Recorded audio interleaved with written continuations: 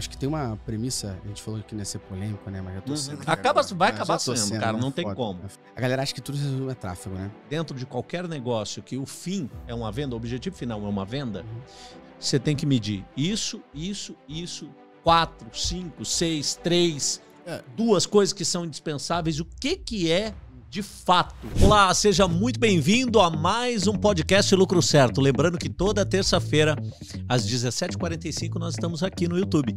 E que também estamos disponíveis em todas as plataformas de áudio. Se você ainda não é inscrito no canal, tá aqui no YouTube com a gente, se inscreva agora que toda terça-feira, às 17h45, você vai receber a nossa notificação de um novo episódio do podcast Lucro Certo. Um ponto de encontro aqui quase que obrigatório para todo empreendedor ou para quem já tem o seu negócio, né, não está necessariamente empreendendo agora, tem o seu negócio e tira vários insights e muitos aprendizados aqui do nosso podcast. Então curte aí o vídeo e se inscreve no canal.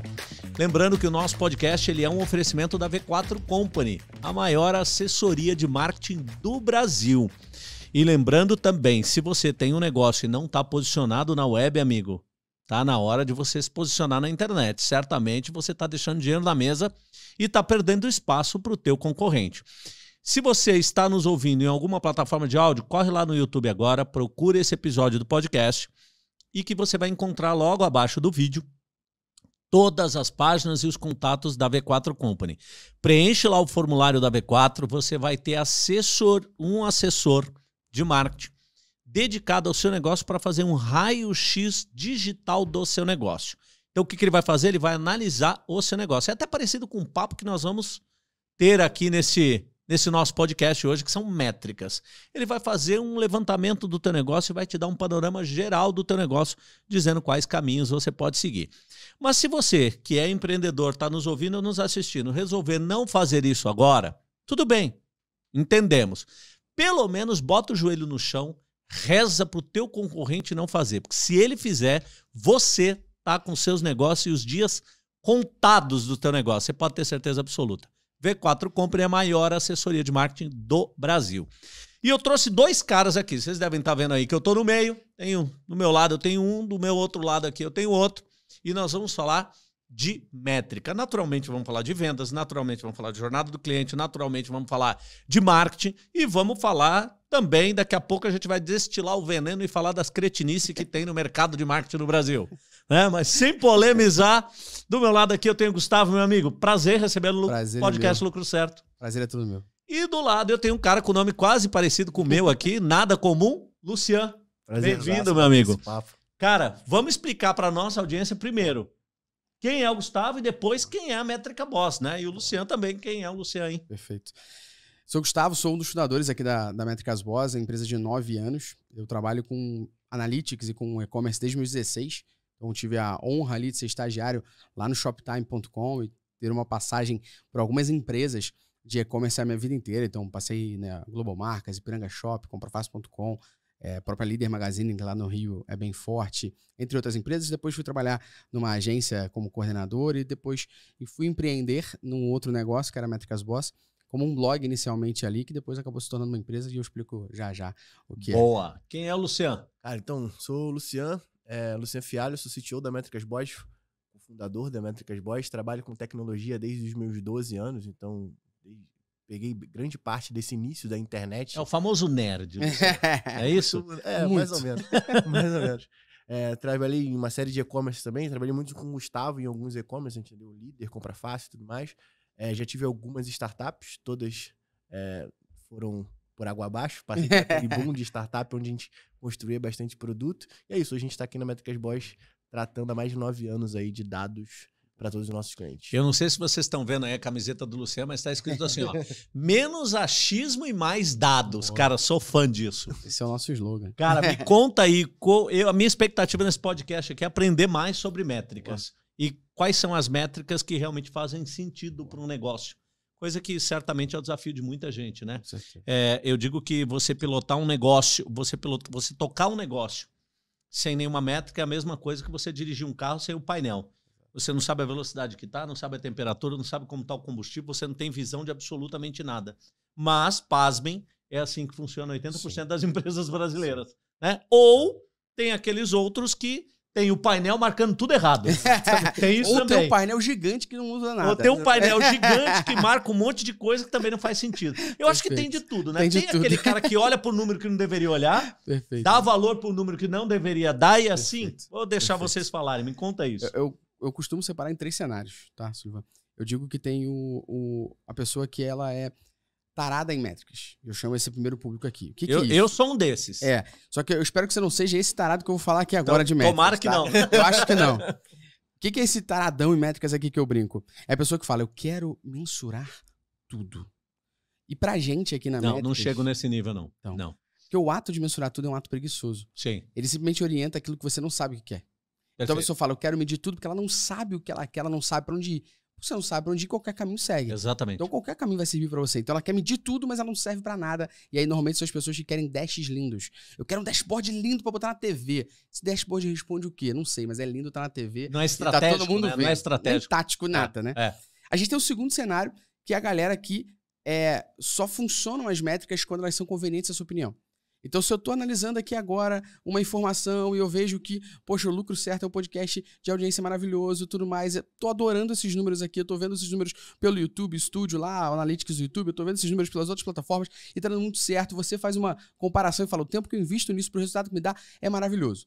Aí chega alguém e fala assim, então, Sullivan, a gente estava analisando errado. Na realidade, olha, os dados que a gente estava pegando desse lugar, desse aqui, eles estão inflados por causa disso, disso, aquilo, outro. Aí você vai olhar e falar assim: não, não estão. Você não vai, você não vai confiar. Por quê? Porque é inconveniente a sua Porque não opinião. convém confiar não naquilo. convém confiar naquilo. Isso é o oposto também. Quando na realidade você tem uma ideia, você tem uma ideia que é assim, cara, vamos abrir a lojinha da Lucro Certo, do nosso podcast, pra gente vender camisa, caneca e tudo mais. Você abre a lojinha, move a equipe, a equipe faz a lojinha, a lojinha não dá resultado. Você vai falar, vocês não estão medindo isso certo, vocês não estão fazendo direito, porque você gosta daquilo. É o dado é inconveniente a sua opinião, você não confia. Então a gente tem esse segundo cenário aqui. Este é o terceiro cenário, pra mim, que é a galera que surfa conforme a maré. Se tá apontando pra direita porque falaram que tem que se preocupar com CAC, agora eu só olho o CAC. Se tá apontando pra esquerda porque falaram que tráfego é importante, eu vou olhar tráfego. Se agora eu tenho que sair da água e ir pra areia porque falaram que pra mim usabilidade é importante, eu vou ver usabilidade. Mas na realidade ela não sabe o que é importante pro próprio negócio. De acordo com o que as pessoas falam no mercado, ela vai indo pra direita, segue reto, vai pra trás, porque alguém falou que era importante. E o cara tá muitas vezes tocando um negócio nele com base numa modinha. Exato. E muitas vezes a gente, quando fala de métricas, não tem muita receita de bolo. Você tem que olhar pro teu negócio. Por isso que o primeiro, que é mensurar tudo, não faz o menor sentido. Porque eu posso estar mensurando coisa que eu não tô nem correndo atrás disso. E que não faz sentido pro É, e O negócio. Gustavo até falou um ponto que é importante, né? Porque as métricas vêm pra gente poder medir um resultado. Então, se você não tem o que medir, ou se o que você está medindo não está de acordo com o resultado que você espera, com, ou de acordo com o objetivo que a sua companhia espera, não faz o menor sentido. Nós você poderíamos traquear isso. separar de uma forma básica, para qualquer pessoa que está ouvindo aqui entender. Então, ao invés de você sair olhando para métricas, separe isso em quatro coisas. Primeiro, qual o objetivo? Eu tenho certeza que você, ao pensar nesse podcast aqui, olhou e falou assim: meu objetivo com o podcast é. Vender. Ponto. Você, então, então você tem um Sim. objetivo no podcast que é vender. Baseado nisso, você tem várias métricas. Para você, talvez, ter um monte de gente dando nota 5 não seja relevante, porque o teu objetivo é vender. Então, talvez a métrica de 5 estrelas no Spotify ou uma métrica de várias pessoas curtindo no YouTube seja um objetivo secundário. Depois a Perfeito. gente fala disso. Pode ser um indicador. Perfeito. Só que eu tenho um zilhão de métricas. Se o meu objetivo é vender, eu tenho que olhar como que eu escolho que métrica se torna o meu KPI, meu indicador de performance. Que performance indica o quê? O meu objetivo. Se está sendo atingido ou não. Venda. Então, se eu olho todas as métricas, o meu objetivo vai ser vender. Aí depois eu tenho o quarto pilar, que é a estratégia. É o que eu faço para que o meu objetivo seja alcançado. E eu olho para o meu KPI, que é a minha métrica que eu dei um superpoder para ela poder ser a métrica que indica para mim a performance do meu negócio. E eu olho e falo, beleza, eu tenho que passar a fazer o podcast não mais semanal, diário. Por quê? Porque tá vendendo pra caramba e tá dando certo. Eu vou aumentar, então, a minha recorrência aqui de podcast. Não, o podcast é mensal, vou passar a ser quinzenal, porque os números estão indicando para mim que eu tô vendendo bastante. Então você vai mencionando e mudando. Isso vai. a estratégia isso, dentro do caso do podcast aqui. A gente tem um podcast também, Analytics Talks, e de acordo com o produto que a gente quer vender, a gente traz um tema diferente. Então, se eu vou Exato. vender uma mentoria lá na frente, eu não vou trazer um conteúdo ferramental, eu vou tentar trazer um outro tipo de conteúdo. Então, você vai começando a, a pegar esse- essa estra- esses dados e transformar em ação. Você vai customizando Exatamente. o conteúdo de acordo com o que você Exatamente. quer na ponta. Exatamente, porque se eu quero vender mentoria, eu não vou vender um conteúdo sobre Google Analytics especificamente. Eu vou vender um conteúdo mais genérico, falar sobre transição de carreira, ou algo mais genérico que me faça chegar nesse ponto e vender com mais efetividade. Total, total sentido. Eu customizo aquela, a minha entrega Perfeito. Para aquilo que eu quero lá na ponta. Só que muita gente também, eu vejo, Luciano e Gustavo, que eles não têm a clareza de qual é o conteúdo ideal de acordo com o negócio dele. Perfeito. O que fazer com relação a isso? Vocês encontram isso nos clientes de vocês? Pra caramba, acho que não só de conteúdo, como. Acho que tem uma premissa, a gente falou que não ia ser polêmico, né? Mas já tô Uhum. sendo. Acaba- agora. vai acabar tô sendo, cara, né? não tem Foda, como. É. A galera acha que tudo resume a tráfego, né? E eu sempre trago uma, uma analogia que é o seguinte: o que adianta eu trazer um monte de gente pra minha loja se quando ela abre e entra na minha loja de roupa, as roupas estão jogadas no chão, tudo amassado, a loja tá fedendo? O que, que vai acontecer com essa pessoa que vai ter a loja? Vai embora. Então, não, não se resume tudo a tráfego. O tráfego é uma parte de toda a jornada que você mensura. Então, se você entende isso, você tem que separar o que é importante pro teu negócio, analisando o que você precisa fazer. Eu vou dar um exemplo. Muita gente hoje está fazendo podcast porque está surfando uma, uma onda. Só Sim. que podcasts que não têm um conhecimento, não tem uma riqueza de detalhes, podcasts que não tem uma recorrência, Que não entregam tem- conteúdo. já morreram. Sim. Mas foi um hype. Hoje, por exemplo, qual a coisa que mais dá resultado para a Métricas Boss? Seja no âmbito de ensino, pessoas que vão fazer o nosso curso presencial, nossa mentoria, ou vão assinar nossa plataforma, ou pessoas que vão contratar os nossos serviços de empresa mesmo ali. O que mais dá certo hoje pra gente é o blog. Seguido do podcast. Lembrando que a Métricas Boss começou lá com o blog. Um blog. Exatamente. Então não Enquanto- perdeu as origens ainda. Não perdeu. Não, não. Mas hoje um monte de gente fala que o blog não faz sentido. Não faz Não. sentido pra quem? Sim. Fora, fora que, nesse caso, falando de tráfego pago, e aí levanta a polêmica muito forte, a gente está há nove anos gerando conteúdo de forma orgânica, porque a gente começou gerou um a fazer conteúdo agora. tão relevante que a, a gente, em determinadas ferramentas, a gente está no link do orgânico acima do próprio Google. Ah. Então, isso fez com que a gente não precisasse até agora pensar em tráfego pago. Então, quis- esse ano foi o ano Isso que a gente falou, ó, vamos trazer alguém para poder fazer tráfego pra- pago pra gente, porque a gente quer vender outros tipos de Tem que produto. crescer além do que a Tem gente que crescer tá. além do Mas que é uma orgânico. questão de posicionamento Exatamente. agora. Perfeito. Sim. Mas, mas aí você entende que nesse caso o tráfego pago ou o tráfego orgânico é só uma maneira de eu atrair pessoas? E ali Sem o dúvida, é que uma, importa uma é a experiência do cara de Exato. Até um evento presencial é uma forma É uma de atrair forma de pessoas, atrair, certeza. né? Exato. E muita gente não entende. Eu chamo isso de canais. Boa, perfeito. Mas é Eu isso. falo, são canais. Cara, Mas é a gente isso, cara. pode vender num evento presencial, a gente pode vender patrocinando eventos, Sim. a gente pode vender em feiras, em Sim. congressos, a gente pode vender no tráfego pago, Uhum. A gente pode vender no orgânico. O nosso orgânico ele é muito forte também. Uhum. né? Então a gente também. Eu olho para tudo isso como canais, é isso. entendeu? Não, Porque durante um bom tempo, o nosso grande canal foi curso. A gente presencial. ministrava curso presencial e dali saíam sempre dois, três contatos de consultoria pra gente. Mais uma pessoa que a gente contratava. Fora a pessoa que a gente normal. Você vai, você vai alimentando a cadeia, Mas de é, uma certa eu forma. acho engraçado tá? quando a gente fala disso, justamente porque é, várias vezes, quando você percebe no mercado, quando alguém tem um Instagram hackeado e perde o Instagram, aí vem todo mundo, os filósofos né, de, de marketing digital, vem falar: não construa a sua casa no terreno dos outros. Então, se você só tem Instagram, não adianta, porque você vai morrer. Só que aí você vai, e essa pessoa que falou isso, ela só tem Instagram. Sim. Pô, existe um negócio que a gente fala o tempo todo, que foi o que você falou muito bem, que é a multicanalidade. Hoje a Métricas Boas, ela tá onde? Ela tem o próprio blog. Se meu Instagram da Métricas for hackeado, a gente tem um blog. A gente tem blog, Instagram meu, Instagram do Luciano, Instagram da Métricas, nosso podcast, YouTube. Eu tenho seis canais aqui. Fora isso, eu escrevo no E-Commerce Brasil, eu escrevo no Mundo do Marketing. Então eu tenho oito canais de exposição que me geram algum tipo de atrativo. Esse, esse é um Fora a mídia paga que a gente começou a fazer É, agora. esse é um outro problema que eu vejo muito empreendedor brasileiro cair, que é a fissura, fissurado, o cara é obcecado pelo Instagram. Instagram, Instagram, Instagram, Instagram, Instagram. Cara, e não é só Instagram. Outro dia eu tava com a minha equipe conversando, eu falei, cara, a gente tem aqui, um dos nossos negócios, a gente tem 22 canais de aquisição ou de gerar atração. Uhum. Cara, nós estamos falando de 22 canais. Por que, que tem que ter essa obsessão por Uhum. Instagram? Né? Ou, não vou nem pegar o, o- o Instagram como bode expiatório. Vamos dizer o seguinte: por que, que eu tenho que ter obsessão só pelas redes sociais? Perfeito. Se existem diversas outras maneiras também. E às vezes o seu público não está no Instagram. Perfeito. Perfeito. Eu tenho, eu tenho um negócio que o meu público não está no Instagram. Então não adianta, eu posso fazer o que eu quiser no Instagram, porque ele vai. não tá lá. É. Eu tenho que trazer esse cara de uma outra forma. Perfeito. E aí a gente aprendeu isso dentro do negócio. Você encontra negócios que não têm essa clareza também, Gustavo? Acho que é uma coisa que a gente mais ajuda hoje no, no mercado, É gerar na análise para isso. É, é a pessoa sair dessa Google ou meta dependência, né? As pessoas, elas normalmente elas têm um budget separado para anúncio do Google, um budget separado para meta ads. Aí você fala, beleza.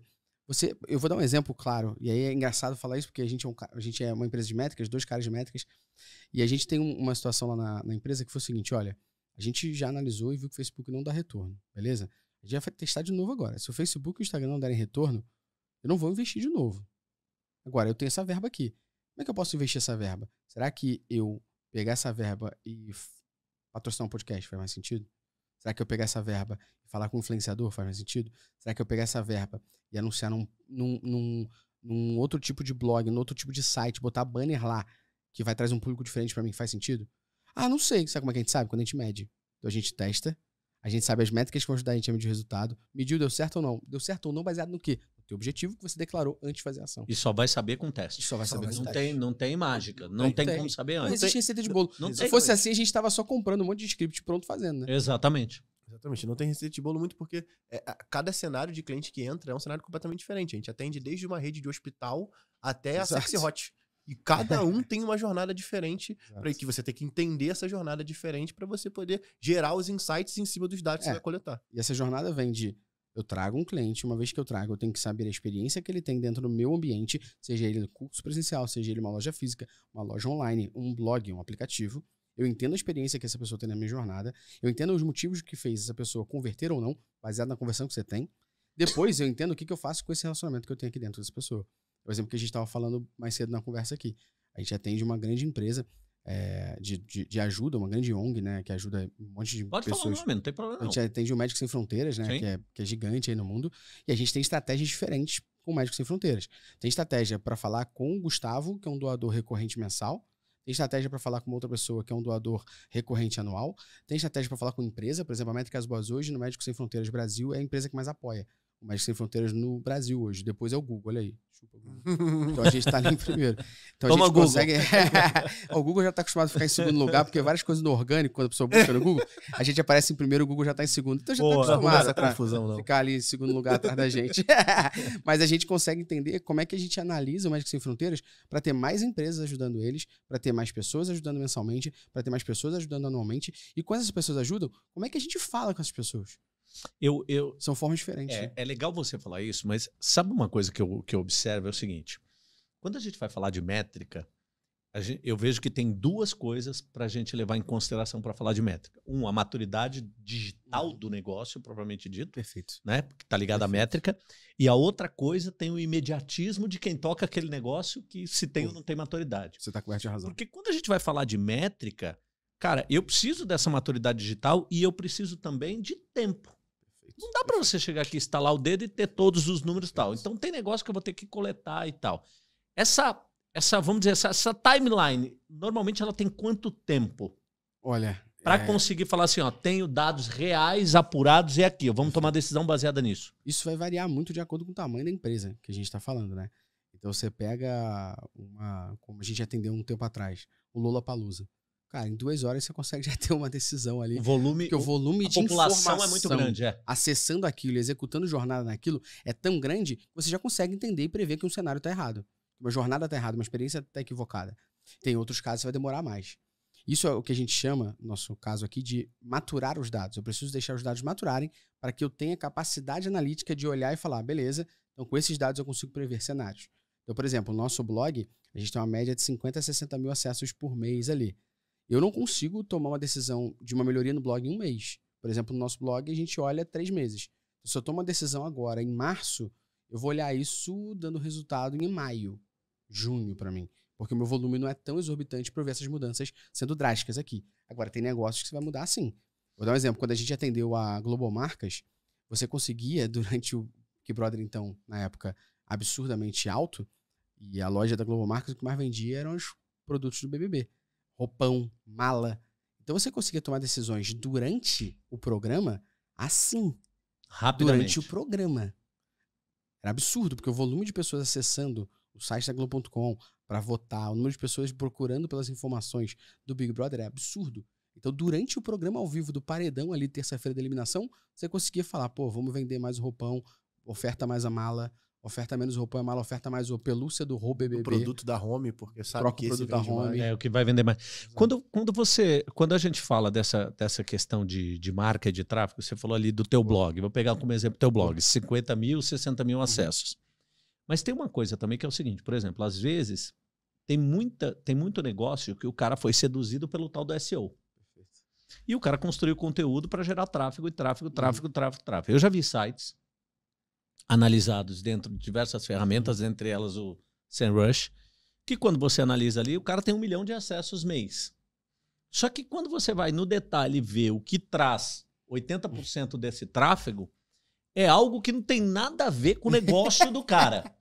Ou seja, eu, aí entra é. naquele primeiro assunto nosso que é é o que eu quero ver, né? O que eu quero Exato. ver. Meu site tem um milhão. Não importa se eu não estou vendendo. Um milhão. 800 mil.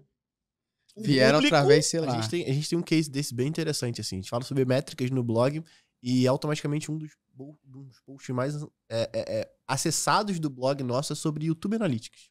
E automaticamente é o post que menos converte para levar usuários para dentro do Prime. Então, dentro do Prime é a nossa plataforma de educação, então eu uhum. gero conteúdo para poder levar esse cara para dentro da plataforma uhum. e assinar eventualmente. Uhum. Então, o post que a gente tem mais acesso não é, é automaticamente é o post que gera mais conversão. Só... Se eu fosse utilizar os dados nessa ocasião, eu ia falar, pô, pega o. Pega o recorte pega que. O recorte que interessa, vamos gerar só conteúdo que a gente fez. Só que não, porque a gente vai analisar baseado na conversão e não ah. nos acessos. Porque a gente fica preso no América. E a conversão é lá na frente. Para que, que eu fiz aquele conteúdo? Para vender. Só que, que eu vendi lá na frente. Nesse caso do YouTube Analytics, a gente fez por uma questão de oportunidade. A gente foi pesquisar sobre isso e viu que ninguém falava. Exatamente. Criamos um dossiê, um documento absurdamente grande explicando cada métrica, cada área do YouTube Analytics tem muito acesso, não tem conversão. O que, que a gente viu? Muitas vezes as pessoas associam Analytics à correção de erro e esquecem que tem oportunidade. O que, que nós fizemos nesse caso do YouTube Analytics? Fizemos um curso da nossa plataforma Sim. chamado YouTube Analytics. Então, quando a pessoa entra nesse artigo, ela tem banners o tempo todo aparecendo para ela falando: quer aprender a analisar os dados do seu YouTube na prática? Assine o Microsoft Prime e faça o curso de YouTube Analytics. Em hipótese alguma, quando a gente fala do nosso produto, a gente pensou em algum momento fazer um curso de YouTube Analytics. Por que a gente fez? Pois se eu tenho um, um, um, acesso grande, que representa 15, 20% do acesso mensal do blog, esse artigo, e eu não tenho nada para vender, esse acesso para mim ele não serve de nada. Serve de nada. Apenas para dizer que eu tenho acesso. Ele tá te consumindo servidor. Exato. Agora, o que, que eu tenho de oportunidade aqui? Se eu fizer um curso disso, se eu fizer um podcast disso, será que isso vai me gerando mais audiência? Então a gente fez um curso de YouTube Analytics para fazer essa galera que entrou ali assinar o Prime. E fora que ele vira Aumentou um, a conversão. Um conteúdo de primeiro contato. Sim. O cara, às vezes, não sabia nada de métricas e o primeiro contato que ele teve foi com aquele conteúdo e a gente Exato. tem que, é, dentro dessa jornada, fidelizar ele para ele. Porque assim. E aí entra o tráfego Todo pago. mundo que tem um canal no YouTube ele gera esse, esse tráfego para algum lugar, né? Só os grandes criadores de conteúdo têm como principal modelo de negócio a receita negócio. do YouTube. O cara tem que gerar e direcionar esse tráfego para algum lugar. Sim, então, sim. Caso, é, é, na maioria das vezes, ele tem um primeiro contato com esse conteúdo e depois ele consome todos os outros, assinando a newsletter, ou vendo dentro dos posts relacionados que tem com aquele Venda conteúdo. Venda de produto, e aí entra o apresentação pago. de patrocinador, alguma Exatamente. coisa assim. E aí entra o tráfego pago. Porque agora o que a gente faz? A gente pega essa galera e impacta ela por remarketing. Por remarketing. É o que faz mais sentido. Mais né? sentido. E um remarketing direcionado. Porque como a gente coleta essas informações, por exemplo, quando o usuário acessa essa página em específico, eu consigo dizer qual post, qual é a categoria daquele post para poder dizer lá para o pixel do Facebook o seguinte, ó, o usuário visualizou esse post com a categoria XPTO. Lá no grupo de anúncios, o pessoal de tráfego do nosso time faz, eles só criam um público personalizado em cima disso para falar com aquela pessoa cara. sobre aquele tema. Sim, sim. Então você tem um processo de ponta a ponta, né? Porque você começa a usar e é, é, engraçado, cara, porque assim, quando você não tem o dado, aí entra naquele uhum. cenário que a gente estava falando no começo. Quando você não tem o dado, às vezes é melhor não ter o dado que ter o dado do errado. Que ter o dado errado. Porque eu, eu já vi muita gente gastar dinheiro com dado errado. Porque se eu pego o dado errado e vou fazer um remarketing com um dado errado, eu vou fazer um remarketing para ninguém. Perfeito. Né? E a atração é para ninguém. Agora me diz uma coisa, qual é o tamanho do negócio que precisa do Métrica Métricas Boss? Olha, pelo menos na minha opinião. Quem é o cliente ideal de vocês? O nosso cliente ideal, assim, a gente acaba, para nosso serviço, a gente acaba falando com e-commerces e, empresas de aplicativo ali. E aí é claro que a gente tem, para o nosso negócio também mostrar um ROI, ROAS para aquela pessoa ali, mostrar o resultado sobre o investimento, essa pessoa tem que ter alguma coisa que ela venda.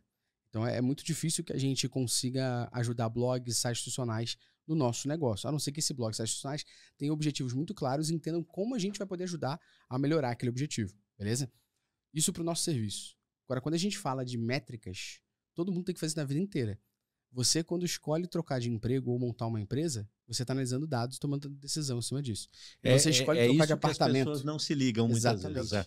Quando você escolhe trocar de apartamento, você está olhando informações, transformando essas informações em decisões. E se não tá, deveria. Deveria. Deveria. Acho que o processo mais normal, assim, para fazer uma analogia, tangibilizar pra galera, é quando a gente fala de academia. Todo mundo já foi de alguma forma. Eu, pelo menos, faço filantropia pra Ou pelo Smart menos Fit. pagou. É, eu faço filantropia pra Smart Fit lá. Todo mês Smart Fit ela debita da minha conta e eu não vou. Filantropia. Ajudo eles lá amarradão. É. Mas as Psicologicamente pessoas, você tá psicologicamente treinando, eu tô né, emagrecendo, né? Mas a galera costuma, quando vai pra academia, você tem uma decisão. Basicamente, você fala com o seu personal trainer ou professor de educação física, ele olha os números do seu corpo, as suas medidas, baseado nisso, no teu objetivo, que é emagrecer, hipertrofia ou condicionamento físico, ele te ajuda a montar uma série, você executa e obtém os O resultados. nome disso são métricas. O nome disso são transformadas em decisão métricas. Exatamente. Você faz isso na academia. E, na verdade, a gente está olhando para a métrica o tempo todo. É que muitas Sim. vezes, e- e o que eu vejo muitas vezes é que o- é um processo trabalhoso, cara. Sim. Ele é é trabalhoso, ele é extremamente trabalhoso, É muito a longo prazo. é a longo prazo, eu diria até médio e longo, Médio e longo prazo. prazo. Eu diria que assim, para você ter clareza, médio prazo. Perfeito. né? Para você ter resultados, aí é mais a longo prazo. E eu vejo que é isso, é esse o preço que a galera não quer pagar muitas vezes em alguns negócios. Por isso que a analogia da academia faz muito sentido, né? É o preço Você que entra na academia, você tem que ficar uma semana, você tem que ficar 30 dias, 40 dias, 60 dias para começar a ver o resultado disso. E aí, de novo, se a gente faz de novo a analogia da academia, que acho que se torna muito tangível, se a tua balança que você está medindo ou os aparelhos que você está usando para medir teu corpo, eles estão errados, você vai estar se matando na academia, fazendo um regime direito ali para poder conseguir, por exemplo, o objetivo de emagrecimento. Você está indo para a balança, a balança está dizendo que você emagreceu 100 gramas. Só que você sabe se a balança está confiável. Então, a primeira coisa que você tem que saber é se a balança é confiável. Se é confiável. Confiável, agora você usa ela como plataforma de medida dos seus dados. É a mesma coisa que a gente fala aqui agora com Analytics. É, E aquele lance, se você deixa de fazer, assim como deixar de fazer É. na academia, você tá jogando fora o seu dinheiro e a Exato. sua saúde. No caso do negócio, a saúde do negócio. Financeira também, né, do negócio. Não tem aquele cliente que o cara mede, mede tudo e tudo que ele mediu não era o que ele queria. Ele fala assim, ó, Ah, cara. não curti o trabalho de vocês não. É. É, a culpa é porque a culpa é minha, eu boto quem eu quiser. Não tem esse cara? Tem, Porque eu tenho os clientes aqui assim. Tem, tem. O Hoje é um cara só vê o que difícil- ele quer. Hoje é um pouco difícil disso acontecer por causa de um ponto específico que é a nossa auditoria. Então, quando esse cliente chega, um dos trabalhos que a gente vem executando agora para poder tentar ajudar o cara a criar uma cultura de dados é: a gente pega todo mundo que tem acesso à ferramenta de análise dele. E a gente senta e coloca todo mundo na mesma página. Ó, quais são os dados que você analisa segunda-feira de manhã para você poder tomar decisão? E aí esse cara vai me listar quais são essas informações. E aí eu vou bater com a ferramenta, por exemplo, o Google Analytics, quais daquelas ferramentas batem com quais daquele, com aqueles dados que Dados. coletados batem com os insights que ele quer, com as decisões que ele quer tomar no dia a dia. E na maioria das vezes a gente já faz uma limpeza de cara. Olha só, tudo isso aqui que você está puxando, você não utiliza para nada. Então vamos fazer iniciando a auditoria com uma limpeza geral de todos esses dados que não prestam para porra nenhuma. Então, esse é o primeiro passo. O segundo passo é a gente executar o que a gente chama de plano de mensuração, que é a gente definir qual é a macro conversão, qual é a micro conversão, quais são os eventos exploratórios que o usuário ele está tentando encontrar o seu produto. E aí, dentro disso, a gente ainda vai pensar em quais as ferramentas que a gente vai utilizar para poder medir esse sucesso do usuário. Então, assim, fica um pouco difícil disso acontecer por causa desses processos. Então, se a gente não sentasse e fizesse essa trajetória com o Essa cliente, criação de cultura Exatamente. quase. quase a criação de cultura. É uma mesmo. conscientização Exato. ali antes de começar. Exatamente. Antes de começar a consultoria, no caso. Tá, ô Luciano, você tocou num ponto interessante aí. Você falou de três, três coisas específicas para analisar uma métrica. Por exemplo, claro que cada negócio tem a sua necessidade, tem a sua peculiaridade, Uhum. beleza. Mas tem, por exemplo, assim, ó, dentro de qualquer negócio que o fim é uma venda, o objetivo final é uma venda, Uhum. tem, por exemplo, alguma coisa para a gente deixar claro para nossa audiência aqui que você fala assim, cara, teu negócio, teu objetivo final é vender, você tem que medir isso, isso, isso, quatro, cinco, seis, três, É. duas coisas que são indispensáveis. O que que é de fato É, importante? Nesse caso, eu acho que dentro desse plano de mensuração. Desculpa te cortar, mas assim, como se fosse um pareto, sim. 80-20. Cara, isso aqui é 80% do teu resultado. Você tem que olhar para isso. Medir a venda, nesse É. caso, Sim, é um. É, é um. Nesse caso, e aí o que eu tento fazer é um exercício do seguinte: pensa na macro conversão, no caso a venda, que é o objetivo principal. Qual é a etapa anterior que é obrigatória? Pensou? Qual é a etapa anterior? Qual é a etapa Tá. anterior? Até você chegar no início da jornada. Então, eu vou exemplificar para um e-commerce, por exemplo, que como é um nicho mais fechado. É, esse- muito esses exemplos que é legal. Se eu tenho quatro etapas, eu tenho que ter quatro Exatamente. indicadores ali. Então, nesse caso, a gente pode medir dentro do e-commerce a compra. Qual é a etapa antes do usuário é, de fato comprar? Ele adicionar informação de pagamento. Qual é a etapa anterior? Ele selecionar método de entrega. Qual é a etapa anterior? Ele adicionar informações pessoais. Qual é a etapa anterior? Ele iniciar o checkout. A etapa anterior ele ir para o carrinho. A etapa anterior ele estar na página do carrinho e adicionar o produto no carrinho. A etapa anterior é ele é, visualizar esse Produto. produto numa página. E a, e a etapa anterior é ele selecionar um produto dentro de uma vitrine. Defi- definir Vamos uma medir cada uma delas. E aí, qual, qual é o lance que acho que faz muito sentido pro, pro dia a dia do cara? Pô, agora que eu tenho uma jornada definida de compra, eu vou entender qual é a etapa que o usuário mais dropa desse funil, ou sai, seja, né? Ele sai. mais sai e vou tentar entender agora para levantar as O motivo da saída. Então, agora eu tenho aqui que analisar diretamente, sei lá, uma vez por mês, uma vez por semana, que seja, quais são as etapas que eu tenho maior perda e quais são os insights que eu tenho que extrair em cima disso aqui. Então, ó, cara, eu tenho uma hipótese que pode ser que minha página de produto seja muito lenta. Isso, Vamos tentar resolver esse problema, medir, resolveu, deu certo, continua, replica para as outras páginas, porque a gente sabe que tem a tendência disso melhorar para tudo. E quais são disso aí? Eu falei Então- que eu ia usar esse podcast para aprender. e disso aí, o que, que você observa como erros comuns? Primeiro, configurar os eventos da forma incorreta. Então, a as gente- interações que o usuário dá As dentro interações. site. É, Sim, evento- sim. é só para contextualizar, evento é toda interação que o usuário Qualquer coisa que ele qualquer faça. coisa. Então, nesse caso, ele clicar, e assim, é aquele lance, né? O Google Analytics ou qualquer outra ferramenta, ele não é a mãe de nada. Então, ele não vai adivinhar sozinho que que aquele botão que o usuário está clicando é o botão de adicionar o produto no carrinho dentro do e-commerce. Então, nesse caso, você tem que dizer para o Google Analytics, ó, esse clique aqui é o botão adicionar ao carrinho. Ele está trazendo o valor do produto de tantos, a categoria é tanto. Então, você tem que preparar esses dados para que ele seja cole- coletado e, e trago como E informação. vocês têm uma plataforma específica que você configura ali por trás do, do Sim. e-commerce e aí ela te dá esse painel com tudo? Exatamente, Como é que é isso? Exatamente. Hoje, esse processo ele é muito é, a, a duas mãos assim com o cliente, porque a gente, a gente faz de um lado e ele faz do outro, porque a gente precisa que exista uma camada de dados que a gente chama, que é a preparação desses dados para o consumo dessas ferramentas. Então, aquele lance, se eu não disser que aquele produto é a camiseta preta que custa 30 reais, o Google Analytics não vai Ele conseguir não extrair esse nada. dado. Ele Ele só não captura nada. informação. Ele captura a informação. Então, é. esse processo de criar essa É camada de dados é fundamental. Você pegar um. Power BI. Power BI não faz nada. Exato. Ele te Você dá. joga a informação lá dentro. Ele, inclusive, ele nem toma decisão. Nem toma. Muita gente tem, tem essa ideia. E Quem ele toma ainda não- somos nós. e nem te diz que decisão Exato, tomar. exato. Ele te dá os dados. Ainda Agora, somos nós. Tem um outro problema aí também no meio desse negócio. Tá bom, você me entrega um painel lindo, bonito, maravilhoso, com todos os dados. Se eu não sei fazer leitura, Não adianta Exatamente. É, Existem, acho que dois pontos que o Luciano vocês falou. ajudam o cliente nessa Perfeito. tomada de decisão? Sim, sim. Porque isso deve ser um puta gap no mercado Perfeito. também. É, existem dois pontos. Eu vou falar primeiro do que a gente chama de leitor de dados, por diferença de analista de dados aqui. Depois eu volto no que o Luciano falou da jornada, para separar isso até em quem analisa isso tudo que ele falou e, por exemplo, um gerente, um coordenador, o que, que ele poderia estar olhando também de forma diferente para cobrar o time.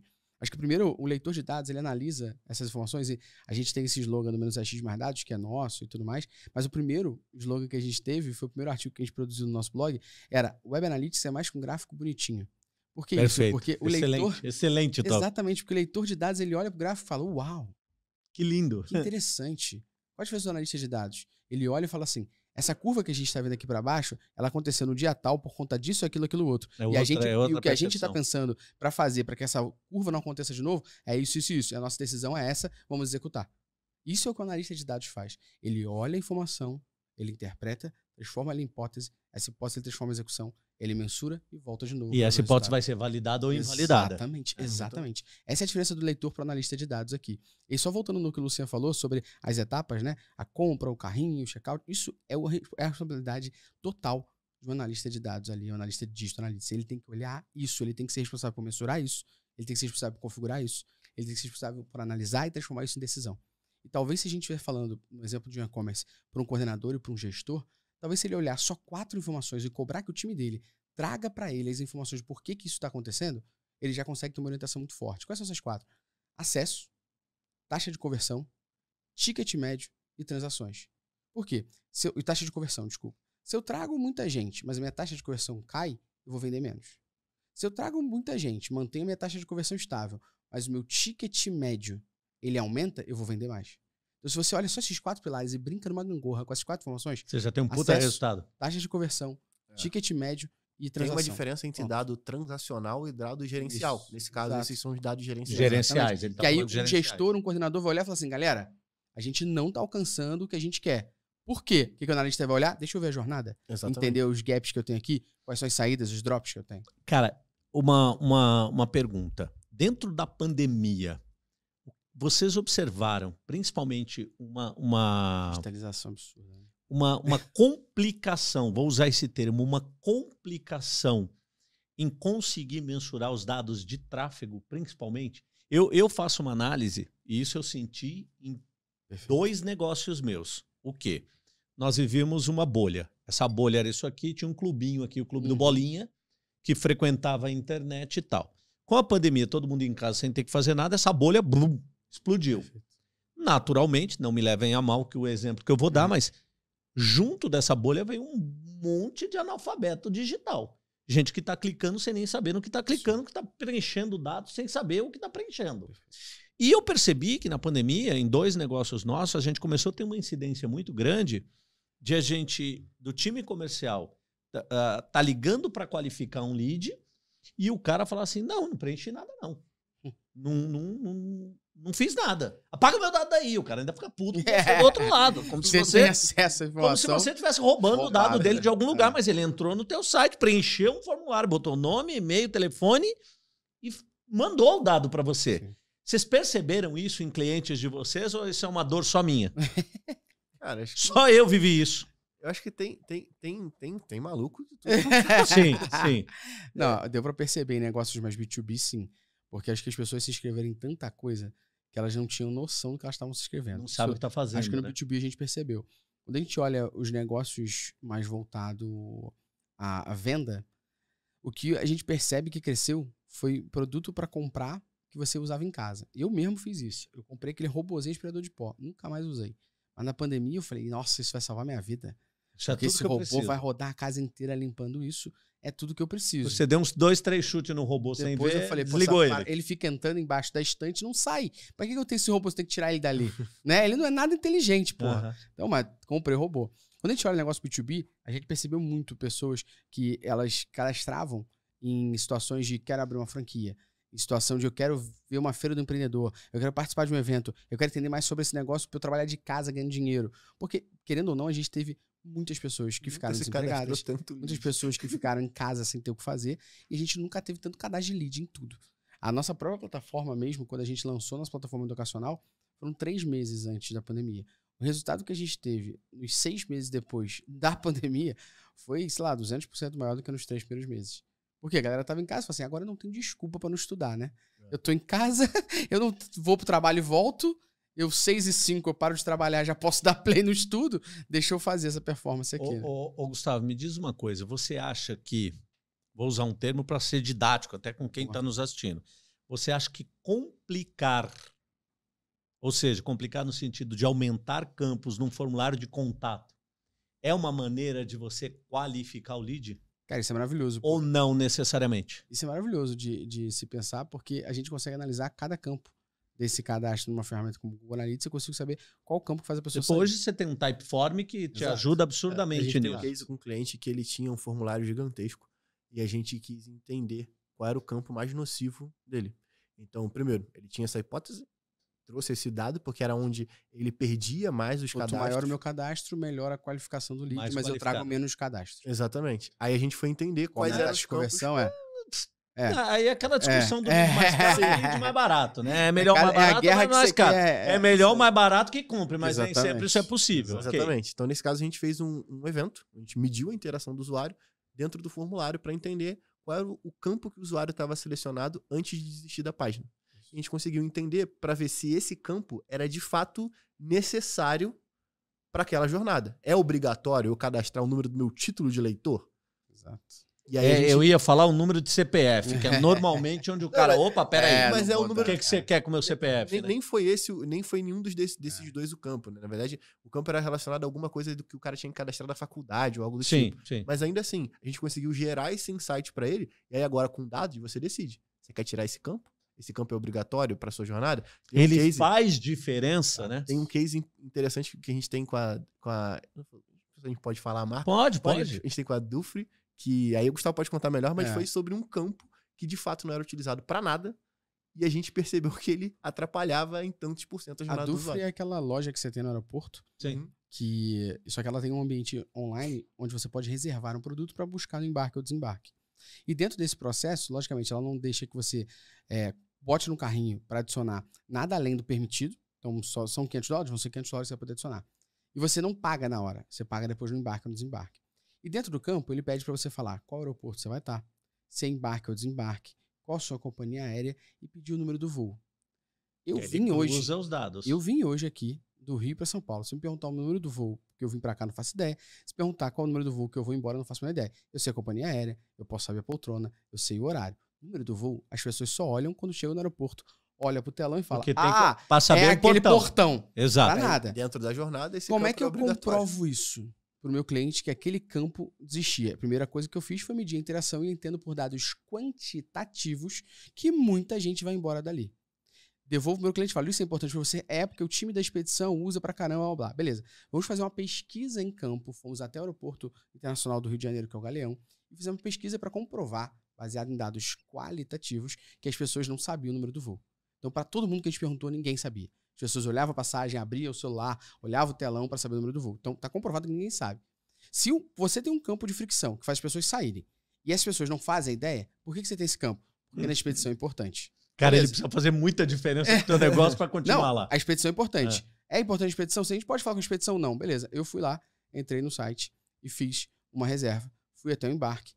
Cheguei no embarque, eu fiz a reserva, comecei a trocar ideia, né? Carioca, conversando com o cara da expedição. Pô, achou muito maneiro, como é que vocês fazem isso? Pô, uma parada que eu tenho curiosidade aqui, cara. Pedi o número do voo. Caramba, eu tive que ir lá consultar o meu e-mail pra pegar esse número do voo. Pô, quase que eu não sabia, quase que eu desisti de comprar. Vocês usam pra que isso aí? Pô, a gente não usa pra nada. "Ah, Vocês não usam pra nada? Aí ele não, saí Deixa dali eu ligando ligar. pro diretor. Fala, Deixa eu ligar "Marcelo, aqui tudo pro- bem? Então, pode remover isso daí porque não faz sentido. Pode remover o Pode remover porque não faz Esse sentido. número de voo só faz sentido pra companhia. E aí, como a gente mede a jornada e consegue saber as etapas, a gente conseguiu ver que 60% mais pessoas avançavam a etapa. Cara, 60% mais é, É coisa muita coisa, né, cara? É muita coisa. Caramba. Muita coisa. Então, sobre ter mais campo ou menos, cara, é teste. É, tudo É teste. teste, é, É teste, teste. É, novo. te- é, a Bota hipótese um- valida ou invalida. valida Bota, ou um- invalida. bota uma página no ar com pouco campo, uma página com muito campo. Separa os leads dessas duas aqui e vê a taxa de conversão.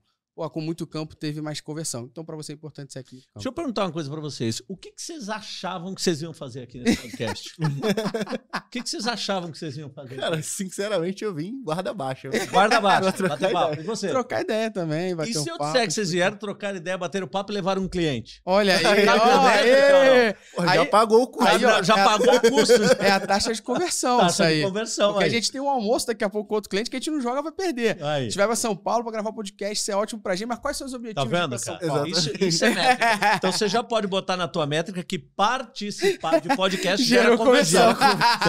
então, E às inclusive, vezes não é indireta, é direta com a audiência.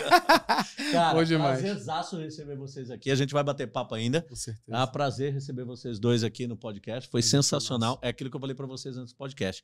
Podcast de métrica, cara. Eu ficaria aqui o resto do dia. Porque é que nem a galera brinca comigo aqui no escritório que eu sou o louco do Power BI. Por isso que eu brinquei lá, o tarado do BI. Mas a gente usa com. te- Tenho certeza que a gente tem para melhorar, tem para aprender, mas a gente já tem uma certa maturidade de dados para saber é o que ótimo. fazer com eles. Isso é ótimo. Então, o que, que você diria? Um recado de cada um aí. O que, que você diria para o empreendedor com relação a métricas do negócio dele? Começa você, Luciano. Cara, é, sente e analise sua jornada para você montar o que a gente falou aqui sobre plano de conversão. Plano de mensuração, desculpa.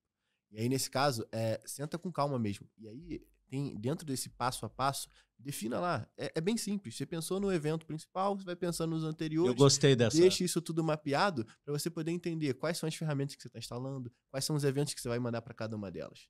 E aí o segundo é, cara, dá uma olhada em quem tem acesso aos seus dados hoje.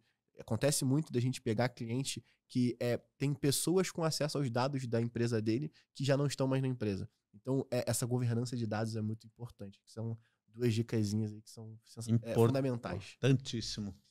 Pior do que não tomar decisão baseada em dados é tomar decisão baseada em dados errados. Com certeza você está deixando dinheiro na mesa ou não está sabendo para onde o teu dinheiro está indo porque você não está investindo pouco tempo para tomar decisão baseada em dados. Boa. É isso aí, galera. Como eu disse, falar de métrica e falar de dados eu ficaria aqui o resto do dia. Esse foi mais um podcast Lucro Certo. Lembrando que nós estamos presentes em todas as plataformas de áudio e também no YouTube, toda terça-feira às 17h45. Todos os dados da Métricas Boss você vai encontrar abaixo do vídeo aqui no podcast. Se você está nos ouvindo em alguma plataforma de áudio, corre lá no nosso YouTube agora, se inscreve no canal, procura o episódio onde a gente entrevistou aqui o pessoal do Métrica Boss, Métricas Boss. Procura lá os contatos dele, vai estar tá tudo embaixo do vídeo para vocês acessarem, para vocês encontrá-los, para vocês de repente pedir um orçamento, botar o teu negócio para funcionar aí e tomar decisões principalmente baseada em dados. Lembrando que esse podcast, ele é patrocinado pela V4 Company, a maior assessoria de marketing do Brasil. E, como eu já disse, aqui embaixo do vídeo no YouTube você também encontra o acesso da V4 Company. Você pode preencher o formulário ali da página da V4 e um especialista em assessoria de marketing vai te atender, vai fazer um raio-x digital do teu negócio e dizer, baseado em dados, inclusive, para onde ou como você deve ir. Tá? E é o que eu disse. Se você não está disposto a preencher esse formulário agora para ter um raio-x digital da V4 Company, torce pelo menos para o teu concorrente não fazer isso. Porque se ele fizer, amigo, o teu negócio está em sérios apuros.